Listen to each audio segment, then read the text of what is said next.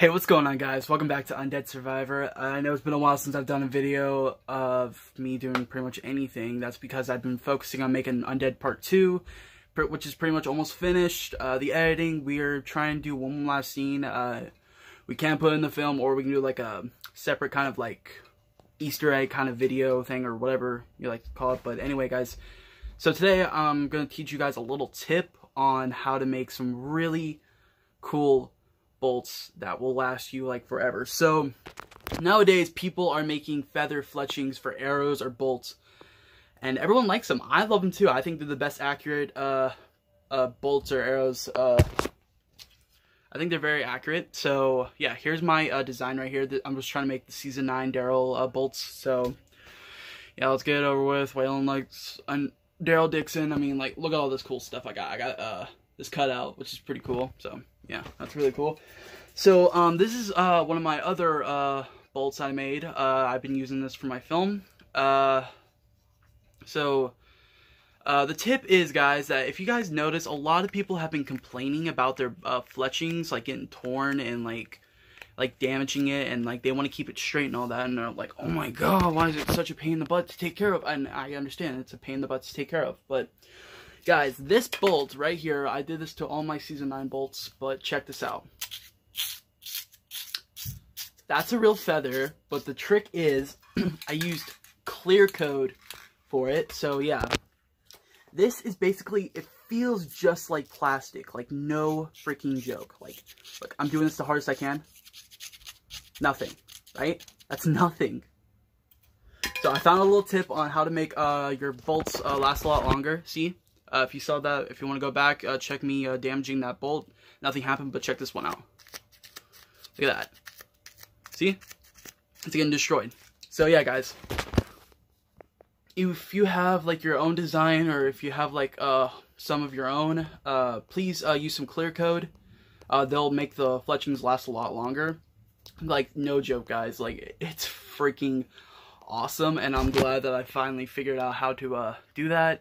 So if you guys want to uh, try it out, uh, go go ahead. I'm not going to stop you. And you're not taking my idea. Go ahead. Just do it. I don't care. I'm, this is my tip to help you guys out. So we're going to go upside. We're to go outside. We're going to test out uh, the accuracy. Um, see if non-clear coat and clear coat works. But, I mean, that really shouldn't matter. It, it's The accuracy, it's not what matters. It's what lasts long.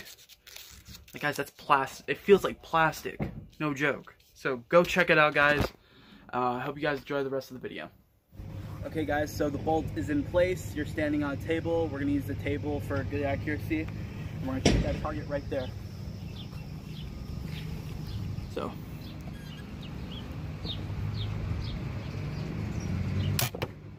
Okay, not bad. We didn't really get, we didn't get a bad shot. So yeah, like check that out. Like it's non, it's like doesn't tear or anything like that. It's so weird. It's like plastic.